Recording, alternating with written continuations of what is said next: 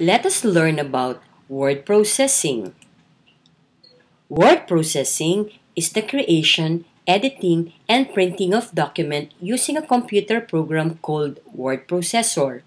In word processing, you do not only make simple documents, but it also allows you to create great-looking documents enhanced by colorful, big text, graphics, pictures, or photos as well. One of the most famous word processing program is Pages. Pages is a part of iWork productivity package developed by Apple Company. Pages is an easy-to-use word processing application that allows users to quickly create great-looking documents. Getting started with Pages. If you want to open the Pages program, all you have to do is double-click the Pages icon from the dock. It will open the Template Chooser. Template Chooser has two categories the word processing, and the other one, the page layout. If you want to write text or document starting from the scratch, then you can work on word processing. Then you choose blank. The blank has two page setup, the portrait and landscape. If you choose portrait, the setup of the document will be in vertical position. Then if you choose landscape, the page setup of the document is in horizontal position. Working with the window of pages. When you start working with a blank document, you will have your writing area.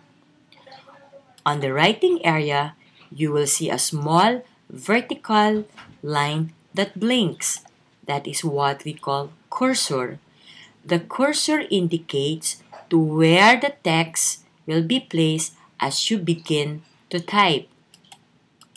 Example, the cursor is there. That means that the text that you have to type will begin on that portion. When you type text in a word processing program, you will just type the text continuously and you will observe that the text moves on the next line every time it reaches the right margin. That is a feature of word processing known as word wrapping or word wrap.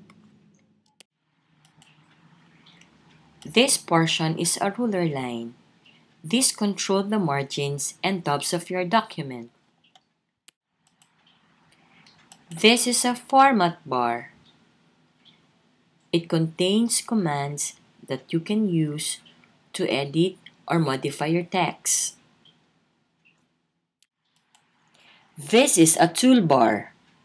Toolbar is a convenient way for you to execute some of the commands while creating your document. This is a menu bar. A menu bar has sets of menus and each menu contains list of commands. If you want to select a command from a menu, you can use your mouse by clicking or selecting the command or you can choose the command or execute the command using keyboard shortcut keys. For example, if you want to change the view of your document, the usual thing that you will do is to go to View menu, choose Zoom, and choose Zoom In. But you can also execute the command by just simply doing the keyboard shortcut for Zoom In, which is pressing the Command key and the greater than symbol key on your keyboard. Then, it will automatically zoom in the view of your document. You can also change the view of your document into fit width or into fit page.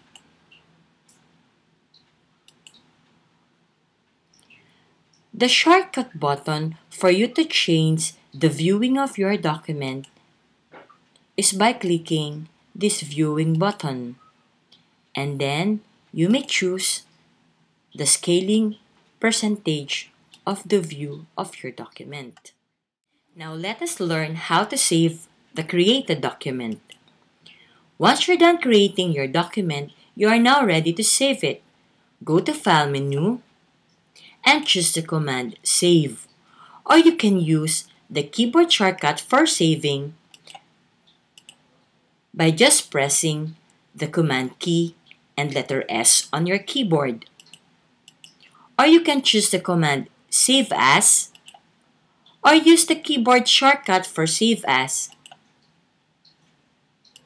by pressing the Shift key and Command key and S on your keyboard. Save As dialog box will appear on your screen, but make sure you have to select the grade level folder and your sections folder. Then in the file name box, type the correct file name and click the Save button. Now, get ready to create your document in Pages.